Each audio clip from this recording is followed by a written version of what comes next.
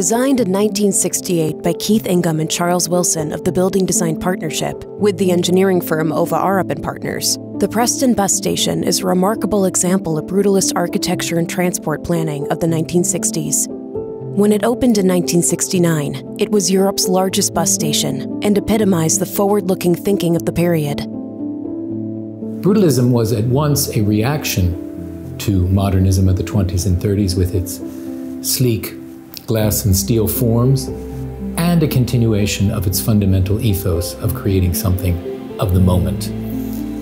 The Preston Bus Station is one of the great undersung achievements of that movement in its effort to find a sculptural expression for reinforced concrete, bringing texture to this modern material, at the same time as creating a richness of place for a fundamental civic place of gathering.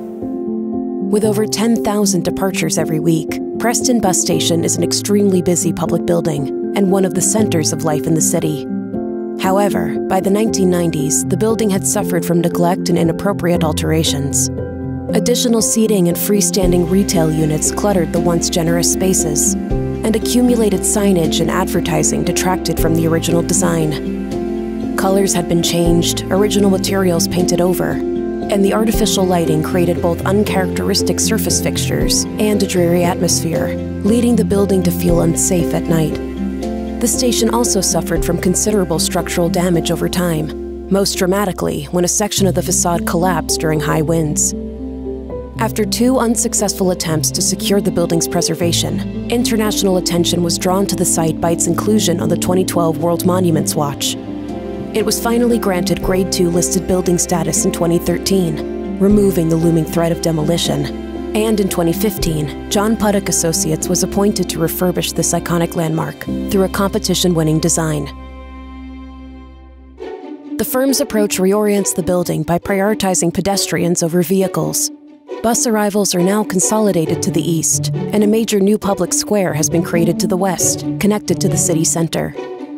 Since the public can now approach the building safely at ground level, the below ground subways were filled in, increasing the sense of safety. Outside, the failing double height concourse facade has been replaced with glazing and mullions to match the original profile, and the three dimensional signage system has been reinstated, now reflecting the building's new organization. The interior of the building was rearranged so that generous waiting areas faced the square, and new benches have been made by reusing the original Iroko barriers. The space has also been pared down by removing later interventions, and original materials have been restored, reinstating the powerful design of the 1960s. New interventions, such as the reception and orientation hall, have been carefully detailed to complement the original architecture, while being clearly of the present. In 2008, WMF launched the biennial World Monuments Fund Knoll Modernism Prize, with funding sponsor Knoll, to raise awareness about the urgent threats to modern architecture. The goal was to recognize and support the individuals and organizations that preserve this period's built heritage.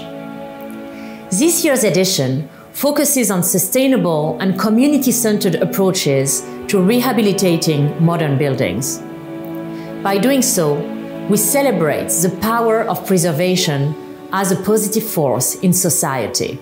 The prize jury valued the detailed and extensive efforts of this project to preserve the full spectrum of historic significance of the station, from its original materials and aesthetic to the building's essential role as a civic center of transit and urban connectivity.